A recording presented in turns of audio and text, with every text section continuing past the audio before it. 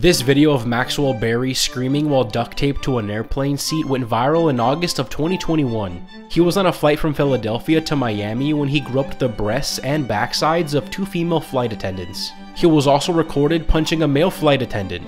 To keep Berry from attacking or groping anyone else, flight attendants used seatbelt extenders and tape to keep him seated and his mouth temporarily shut.